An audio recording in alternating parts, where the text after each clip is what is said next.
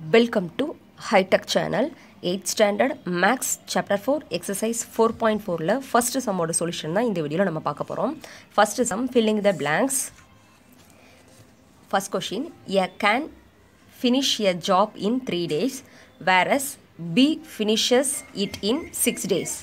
The time taken to complete the job working together in days days so அப்போ ரெண்டு person இருக்கிறாங்க. A அப்படின்ற person வந்து ஒரு ஜாப்பை த்ரீ டேஸில் கம்ப்ளீட் பண்ணுறாங்க ஃபினிஷ் பண்ணிட்டாங்க. பி அப்படின்ற பர்சன் வந்து அதே ஜாப்பை சிக்ஸ் டேஸில் என்ன பண்ணுறாங்க அப்படின்னா ஃபினிஷ் பண்ணுறாங்க ஸோ ரெண்டு பேரும் சேர்ந்து ஏயும் பியும் சேர்ந்து அந்த ஜாப்பை கம்ப்ளீட் பண்ணுறதுக்கு எத்தனை டேஸ் வேணும் அப்படின்னு கேட்டிருக்காங்க. ஸோ இது எப்படி நம்ம சால்வ் பண்ணுறது அப்படின்னு டீட்டெயில்டாக பார்க்க போகிறோம் கொஷினில் கொடுத்துருக்கதை நான் எழுதியிருக்கேன் பாருங்கள் A can finish a job three days B can finish a job six days so அப்போ நம்ம என்ன பண்ணுறோன்னா ஒரே சேம் ஜாப் தான். ஸோ ஒன்று தான். ஸோ ஒரு ஜாப்பை ஏன்ற பர்சன் த்ரீ டேஸில் கம்ப்ளீட் பண்ணுறாங்க ஸோ நான் ஃப்ராக்ஷன் எழுதியிருக்கேன். மேலே இருக்கிறது ஜாப்பு கீழே இருக்கிறது டேஸ் நல்லா ஞாபகம் வச்சுக்கோங்க. மேலே இருக்கிறது நம்ம எத்தனை ஜாப் எடுத்திருக்கோமோ அது. கீழே நம்ம நம்பர் போடுறோம் இல்லையா? அது வந்து எத்தனை டேஸில் அதை கம்ப்ளீட் பண்ணுறீங்க ஓகேவா ஸோ அப்போ இதை எப்படி நம்ம ரைட் பண்ணணும்? ஜாப் ஒன்று தான் ஸோ எத்தனை டேஸில் கம்ப்ளீட் பண்ணுறாங்க சிக்ஸ் டேஸில் ஸோ நெக்ஸ்ட் கொஷின் என்ன கேட்டிருந்தாங்கன்னா ஏ அண்ட் பி டூகெதர் ரெண்டு பேரும் சேர்ந்து இந்த ஜாப்பை எத்தனை டேஸில் கம்ப்ளீட் பண்ணுவாங்க? ஸோ டூகெதர் அப்படின்னு கொடுத்துட்டாலே ஆட் பண்ணணும். ஓகேவா ஸோ ஏயோட வேல்யூவையும் பியோட வேல்யூவையும் நம்ம என்ன பண்ண போகிறோம் ஆட் பண்ண போகிறோம் ஸோ ஆட் பண்ணிடலாமா? One by three ஏயோட value one by three plus பியோட value one by six so denominator சேமாக இருந்தால் தான் உங்களால் என்ன பண்ண முடியும்? ஆட் பண்ண முடியும். ஸோ நம்ம என்ன பண்ண போகிறோன்னா ரெண்டுமே ஒரே டேபிளில் உங்களுக்கு என்ன ஆகும்? டிவைட் ஆகும். ஸோ அதனால் இந்த த்ரீயை நான் என்ன பண்ணிக்கலாம் சிக்ஸாக கன்வெர்ட் பண்ணிக்கலாம். ஸோ எப்படி கன்வெர்ட் பண்ணுவீங்க? டூவால் நீங்கள் மல்டிப்ளை பண்ணால் என்ன கிடச்சிரும்? சிக்ஸ் கிடச்சிரும் இல்லையா? ஸோ அப்போது one twos are two three twos are six plus one by six இப்போ டினாமினேட்டர் உங்களுக்கு சேமாக வந்துருச்சு. ஒரே டைம் போட்டுக்கலாம். மேலே இருக்கிற ரெண்டு வேல்யூ நம்ம என்ன பண்ணலாம்? ஆட் பண்ணலாம். ஸோ அப்போ த்ரீ பை சிக்ஸ் இதை நம்மளால் ஈஸியாக சிம்பிளிஃபை பண்ண முடியும். One three are three two three are six so answer பார்த்தீங்கன்னா ஒன் பை டூ ஏயும் பியும் சேர்ந்து இந்த ஒர்க்கை நம்ம கம்ப்ளீட் பண்ணதுக்கு எவ்வளோ நாள் ஆகுதுன்னு கொடுத்துருக்காங்க? ஒன் பை சிக்ஸ் நான் ஆல்ரெடி இங்கேயே சொல்லியிருந்தேன். மேலே ஒன் அப்படிங்கிறது என்னது அப்படின்னா நம்ம எடுத்துக்கிட்ட ஜாப்பு கீழே இருக்கிற நம்பர் என்ன அப்படின்னா டேஸ் அப்படின்னு நான் சொல்லியிருந்தேன். அப்போ அதே மாதிரி தானே இங்கே எழுதணும். ஸோ மேலே இருக்கிறது என்னது அப்படின்னா ஜாப்பு கீழே இருக்கிறது டேஸ் அப்போது ஏயும் பியும் சேர்ந்து எத்தனை டேஸில் அந்த ஒர்க்கை வந்து கம்ப்ளீட் பண்ணுறாங்க அப்படின்னா டூ டேஸில் ஒர்க்கை வந்து என்ன பண்ணுறாங்க கம்ப்ளீட் பண்ணுறாங்க ஸோ உங்களுக்கு ஆன்சர் இஸ் டூ ஸோ எடுத்து எழுதியாச்சு.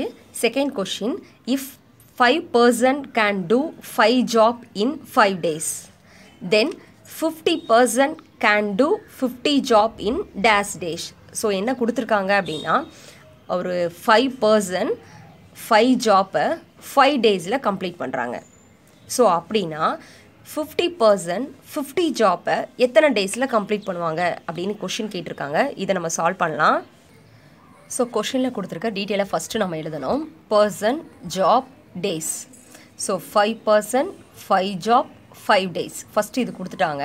Next fifty persons fifty job எவ்வளோ டேஸில் கண்டுபிடிக்கணும்? ஸோ நம்மளுக்கு அந்த டேஸ் தெரியாது. அதனால் நம்ம எக்ஸ்னு வச்சுருக்கோம். யூஸிங் த ஃபார்முலா என்ன ஃபார்முலா யூஸ் பண்ண போகிறோம் அப்படின்னா உங்களுக்கு இது மாதிரி புக் இன்சைடில் நம்ம இன்ட்ரொடக்ஷனில் கொடுத்துருப்பாங்க. ஸோ இது வந்து பர்சன் இது வந்து டேஸை இது வந்து என்னது அப்படின்னா எவ்வளோ ஒர்க்கர்ஸ் அப்படின்னு நம்ம பண்ணுறது ஜாப் ஓகேவா எவ்வளோ ஒர்க் பண்ணுறோம் அப்படின்னு. ஸோ நம்ம ஃபஸ்ட்டில் இருக்கிறது எல்லாமே ஒன்னுன்னு எடுத்துக்கணும். Person one job one day one ஓகேவா ஸோ அதனால் எல்லாமே ஒன் ஒன் எடுத்திருக்கோம். செகண்டில் இருக்கிறது எல்லாமே டூ அப்படின்னு எழுதணும். ஸோ இப்போ வேல்யூவை சப்ஸ்ட் பண்ணிடலாமா? பர்சனுக்கு பதிலாக ஃபைவ் போடணும். நெக்ஸ்ட்டு டேயும் ஃபைவ் தான். நம்ம எடுத்துக்கிட்ட ஜாப்பும் உங்களுக்கு ஃபைவ் தான். ஜாப்பு ஃபைவ் தானே கொடுத்துருக்காங்க? ஒர்க்குங்கிறது job is equal to next பார்த்தீங்க அப்படின்னா பர்சன் வந்து ஃபிஃப்டி டேஸ் வந்து நம்மளுக்கு எவ்வளவுனே தெரியல. நான் எக்ஸ்ன்னு எடுத்துருக்கிறேன். நெக்ஸ்ட்டு பார்த்தீங்கன்னா இங்கே ஒர்க் வந்து என்னது அப்படின்னா ஃபிஃப்டி ஸோ அப்போ ஈஸியாக நீ கால்குலேட் பண்ணிடலாமே. மேலே இருக்கிற ஃபைவ் இங்கே இருக்கிற ஃபைவ் கேன்சல் பண்ணிடலாம். ஃபிஃப்டி ஃபிஃப்டி கேன்சல் பண்ணிடலாம். ஸோ அப்போ எக்ஸோட வேல்யூ உங்களுக்கு என்னென்னு கண்டுபிடிச்சிருக்கோம் அப்படின்னா ஃபைவ் ஏன்னா இங்கே ரிமைனிங் ஃபைவ் தானே இருக்குது ஸோ அப்போ எவ்வளோ நாள் ஆகும்னு கொடுத்துருக்காங்க?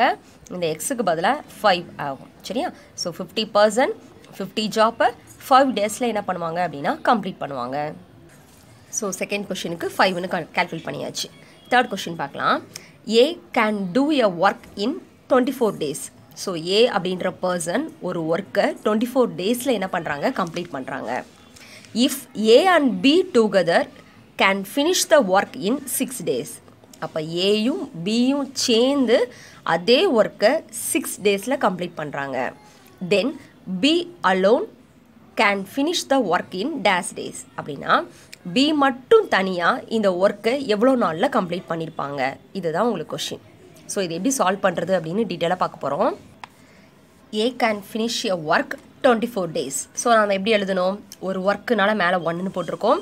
Twenty four டேஸ்னால divided by twenty four A and B finish a work so ஏயும் பியும் சேர்ந்து அதனால் நான் என்ன எழுதியிருக்கேன்? ஏ ப்ளஸ் பி அப்படின்னு எழுதியிருக்கேன். Is equal to six days so நம்ம என்ன எழுதியிருக்கோம்? ஒன் பை சிக்ஸ் அப்படின்னு எழுதிட்டோம். உங்களை கொஷினில் என்ன கேட்டிருக்காங்க? B can finish a work B வந்து அந்த ஒர்க்கை எவ்வளோ நாளில் ஃபினிஷ் பண்ணுவாங்க? பி மட்டும். சரியா? ஸோ அதை நான் என்ன எடுத்திருக்கேன் அப்படின்னா எக்ஸ் டேஸ் ஸோ அவங்க என்ன எப்படி எழுதணும்? ஒன் பை எக்ஸ் டேஸ் நம்மளுக்கு என்னன்னு தெரியல அதனால் ஒன் பை எக்ஸ் அப்படின்னு எடுத்துட்டேன். ஸோ இது எப்படி நம்ம கால்குலேட் பண்ணுவோம்? ஸோ இது ஏயோட வேல்யூ மட்டும். இது ஏயும் பியும் சேர்ந்தது.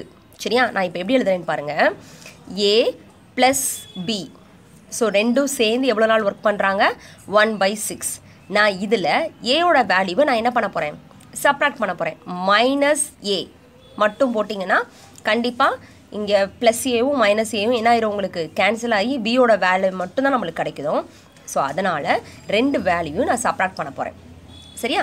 ஸோ சப்ராக்ட் பண்ணனா உங்களுக்கு யாரோட ஒர்க் கிடச்சிரும்? பியோட ஒர்க் கிடச்சிரும். கிளியராக புரியுதா? சரியா? ஸோ ரெண்டு பேரும் சேர்ந்து பண்ண வேலையிலிருந்து ஏ பண்ண வேலையை மட்டும் நான் சப்ராக்ட் பண்ணிட்டேன் அப்படின்னா பியோட வேலை உங்களுக்கு கிடச்சிரும். ஸோ நான் இந்த சென்டென்ஸை அப்படியே என்ன பண்ணுறேன் எக்ஸ்சேஞ்ச் பண்ணி எழுதுகிறேன் B equal to A plus B bracket போட்டு மைனஸ் ஏ கிளியராக புரியுதா? இப்போ ஏ ப்ளஸ் பியோட வேல்யூ என்னன்னு கொடுத்துருக்கோம் நம்ம. One by six minus ஏயோட value one by twenty four so கிளியராக புரிஞ்சிருக்கும். இப்போ இது ரெண்டையும் நீங்கள் என்ன பண்ண போகிறோம் சப்ராக்ட் பண்ண போகிறீங்க ஸோ நான் இந்த சிக்ஸை டுவெண்ட்டி ஃபோராக கன்வெர்ட் பண்ண போகிறேன் ஏன் டினாமினேட்டர் சேமாக இருந்தால் தானே நம்ம சப்ராக்ட் பண்ண முடியும்? ஸோ நான் ஃபோரால் மல்டிப்ளை பண்ணிக்க போகிறேன் சரியா? ஸோ அப்போ என்ன ஆன்சர் கிடைக்கும் உங்களுக்கு? One four are four six four are twenty four minus one by twenty four so இப்போ டினாமினேட்டர் ஃபுல்லாக சேமாக வந்துருச்சு இல்லையா? டுவெண்ட்டி ஃபோர்னு எழுதிக்கலாம். ஸோ மேலே இருக்கிற நம்பர்ஸை நம்ம என்ன பண்ணணும் அப்படின்னா சப்ராக்ட் பண்ண போகிறோம் ஸோ ஆன்சர் என்ன கிடைக்கும் உங்களுக்கு? Three by twenty four so இது ஈஸியாக நம்ம கேன்சல் பண்ணலாம் இல்லையா? த்ரீ டேபிளால் கேன்சல் பண்ணலாம். One three are three eight three are twenty four so B வந்து அந்த ஒர்க்கை எவ்வளோ நாளைக்குள்ளே செய்கிறாங்களாம் கீழே இருக்கிறதான நம்ம டேஸ்ன்னு சொல்கிறோம் அப்போது எயிட் டேஸில் அவர் கம்ப்ளீட் பண்ணுறாங்க சென்டென்ஸாக எடுத்து எழுதிடுவோம் B can finish your work is equal to இங்கே கீழே இருக்குது பார்த்தீங்களா அதுதான் டேஸ் ஸோ அதனால் எயிட் டேஸ் அப்படின்னு எழுதியாச்சு. Next fourth question A alone can do a piece of work in thirty five days if B is forty percentage more efficient then A then B will finish the work in days dash so என்ன கொடுத்துருக்காங்கன்னா A அப்படின்ற person ஒரு ஒர்க்கை twenty five டேஸில் finish பண்ணுறாங்க sorry thirty five டேஸில் finish பண்ணுறாங்க so B வந்து ஏயை விட ஃபார்ட்டி பர்சன்டேஜ் ஒர்க்கை வந்து அதிகமாக கொடுக்குறாங்க. மோர் அப்படின்னா அதிகம். சரி எதை விட? ஏ பர்சனை விட B person forty percentage more ஒர்க்கை கொடுக்குறாங்க. அதிகமான வேலையை கொடுக்குறாங்க. அப்படி கொடுத்தாங்க அப்படின்னா பி அப்படின்ற பர்சன் அந்த ஒர்க்கை எவ்வளோ நாளைக்குள்ளே செய்வாங்க? இதுதான் உங்களுக்கு question so A person finish a work thirty five days so நம்ம அதை எப்படி எழுதணும்? ஒன் பை தேர்ட்டி ஃபைவ் அப்படின்னு எழுதுறீங்க.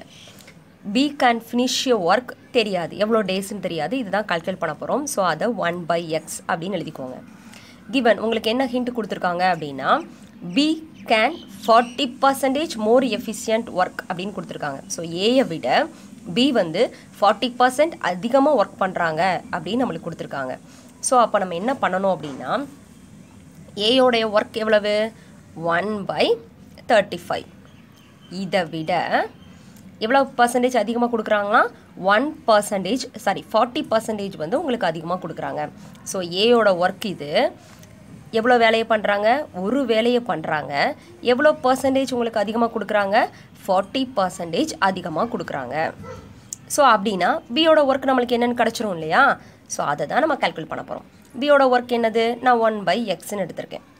ஸோ நான் மறுபடியும் கிளியராக சொல்கிறேன் பாருங்கள் பியோடைய ஒர்க்கை நான் வந்து ஒன் பை எக்ஸ்ன்னு எடுத்திருக்கேன். ஏயோட ஒர்க் வந்து என்னது? ஒன் பை தேர்ட்டி ஃபைவ் கிளியராக புரிஞ்சுச்சா? ஸோ இவர் என்ன பண்ணுறாரு இவங்க ரெண்டு பேருமே ஒரே வேலையை தான் பண்ணுறாங்க அதனால் நான் ஒன்றுன்னு போட்டிருக்கேன். ப்ளஸ் ஏயை விட பி வந்து என்ன பண்ணியிருக்காங்க ஃபார்ட்டி பர்சன்டேஜ் அதிகமாக கொடுக்குறாங்க. அப்போது ஃபார்ட்டி பர்சன்டேஜ் அப்படின்னு எழுதியிருக்கேன். ஸோ இப்போ நம்ம கால்குலேட் பண்ணிடலாம். ஒன் பை தேர்ட்டி ஃபைவ் ப்ராக்கெட்டில் ஒன் ப்ளஸ் ஃபார்ட்டிக்கு பதிலாக என்ன போடணும்? பர்சன்டேஜ் போட்டிருக்காங்களே அதனால் டிவைடட் பை ஹண்ட்ரட் நெக்ஸ்ட்டு நம்ம என்ன பண்ணுவீங்க? இங்கே டினாமினேட்டரில் ஒன்று இருக்குன்னு அர்த்தம். இதை ஹண்ட்ரடாக நம்ம கன்வெர்ட் பண்ணுவோம். ஸோ ஹண்ட்ரடால் நம்ம என்ன பண்ணிக்கலாம்? மல்டிப்ளை பண்ணிக்கலாம். ஸோ ஒன் மல்டிபிள் ஹண்ட்ரட்னா ஹண்ட்ரட் ப்ளஸ் ஃபார்ட்டினா என்ன வந்துடும் உங்களுக்கு? Correct hundred and forty divided by hundred இது உங்களுக்கு கிளியராக புரியும்னு நினைக்கிறேன். ஸோ அதனால் டேரெக்டாக நான் போட்டுட்டேன். இப்போ இது ஈஸியாக கேன்சல் பண்ணால் ஆன்சர் முடிஞ்சிருச்சு. ஜீரோ ஜீரோவை கேன்சல் பண்ணிடுங்க இது ரெண்டையும் செவன் டூ டேபிளால் கேன்சல் பண்ணுங்கள் செவன் டூ ஜார் ஃபோர்டீன் இங்கே ஃபைவ் டூ ஜார் டென் ஓகேவா ஸோ இது கம்ப்ளீட்டாக முடிஞ்சிருச்சு. அடுத்து பார்த்தீங்கன்னா இது செவன் டேபிளால் போட்டலாம் one seven are seven five seven are thirty five so இங்கே ஃபைவ் இங்கே ஃபைவ் இருக்குது ஸோ ரெண்டையும் மல்டிப்ளை பண்ணிங்கன்னா one by twenty five so one by எக்ஸோட வேல்யூ என்னது அப்படின்னா twenty five so one by எக்ஸ்னால் என்னது? பி வந்து கம்ப்ளீட் பண்ணக்கூடிய ஒர்க்கு தான் என்னது? ஒன் பை எக்ஸ் ஸோ அப்போ எடுத்து எழுதிடலாம்.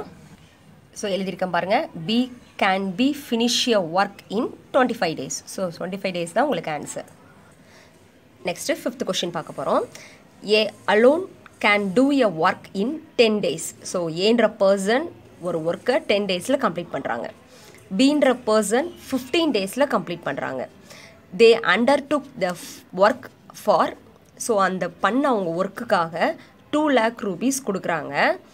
So A the amount that A will be get so அப்போது ரெண்டு பேருக்கும் சேர்த்து தான் டூ லேக்ஸ் கொடுக்குறாங்க. ஏ மட்டும் எவ்வளோ ரூபா அவங்களுக்கு கிடைக்குது பிக்கு எவ்வளோ அமௌண்ட் கிடைக்குது அப்படிங்கிறத பார்க்க போகிறோம் ஸோ மறுபடியும் நான் சொல்கிறேன் பாருங்கள் ஏன்ற பர்சன் ஒர்க்கை டென் டேஸில் கம்ப்ளீட் பண்ணுறாங்க பீன்ற பர்சன் ஃபிஃப்டீன் டேஸில் கம்ப்ளீட் பண்ணுறாங்க ஸோ அமௌண்ட்டு வந்து நம்ம என்ன பண்ணுறாங்க அப்படின்னா டூ லேக் கொடுக்குறாங்க. ஸோ ஏயும் பியும் அந்த டூ லேக்ஸை பிரிச்சுக்க போகிறாங்க ஷேர் பண்ண போகிறாங்க ஸோ ஏக்கு மட்டும் எவ்வளோ அமௌண்ட் கிடைக்குது அப்படின்னு பார்க்க போகிறோம் so A can finish your work ten days B can finish your work fifteen days so ten டேஸை நான் எப்படி எழுதியிருக்கேன்? ஒன் பை டென் ஃபிஃப்டீன் டேஸை ஒன் பை ஃபிஃப்டீன் ஸோ நம்ம இது ரேஷியோ போட்டு தான் நம்மளால் கால்குலேட் பண்ண முடியும். ஸோ யாருக்கு வந்து அதிகமான அமௌண்ட் கிடச்சிருக்கு? யாருக்கு கம்மியான amount கிடச்சிருக்குன்னு? So A ratio B as to B ஏயோட value one by ten is to பியோட value one by fifteen so denominator உங்களுக்கு சேமாக இருந்தால் தான் யாருக்கு அதிகம் நம்மளுக்கு தெரியும். ஸோ இங்கே டினாமினேட்டரில் என்ன இல்லை? சேமாக இல்லை. ஒரு ஒரு இதில் டென் இருக்குது இன்னொரு இதில் ஃபிஃப்டீன் இருக்குது ஸோ நம்ம இப்போ என்ன பண்ண போகிறோம்னா ஸோ இதை சேமாக கொண்டு வரணும். நம்ம எல்சிஎம் எடுப்போம் இல்லையா? ஸோ அதே பேட்டர்ன் தான் டென்னு ஃபிஃப்டீன் ஃபைவ் டேபிளால் நம்ம போடுறோம். அப் டூ த்ரீன்னு வரும். மறுபடியும் டூ டேபிளால் போடுறீங்க. மறுபடியும் த்ரீ டேபிளால் போடுறீங்க. ஸோ இது உங்களுக்கு ஆல்ரெடி தெரிஞ்ச விஷயந்தான் சைடில் இருக்கக்கூடிய வேல்யூவை எல்லாத்தையும் நம்ம என்ன பண்ணணும் அப்படின்னா மல்டிப்ளை பண்ணணும். ஸோ ஆன்சர் வந்து உங்களுக்கு என்ன கிடைக்கும்? தேர்ட்டி ஸோ டினாமினேட்டரை எதாக கன்வெர்ட் பண்ண போகிறோம் தேர்ட்டியாக கன்வெர்ட் பண்ண போகிறீங்க ஸோ அப்போ இது தேர்ட்டியாக கன்வெர்ட் பண்ணணும்னா த்ரீயால் என்ன செய்யணும்? மல்டிப்ளை பண்ணணும். இதை தேர்ட்டியாக கன்வெர்ட் பண்ணணும்னா டூவால் மல்டிப்ளை பண்ணணும். இப்போ ஈஸியாக போட்டுடலாம்ல one three are three ten three are thirty so east one two are two fifteen two are thirty so இப்போ டினாமினேட்டர் உங்களுக்கு சேமாக வந்துடுச்சு ஸோ மேலே பார்த்தீங்க அப்படின்னா ஆன்சர் உங்களுக்கு கிடச்சிருக்கு. ஸோ ஏ அண்ட் பியோட value A dot B ratio B is equal to three is to two ஏன் நான் கீழே உள்ளதை போடலை அப்படின்னா தேர்ட்டி டேஸ் சரியா? ரெண்டையுமே நான் சேம் டேயாக கொண்டு வந்துட்டேன்.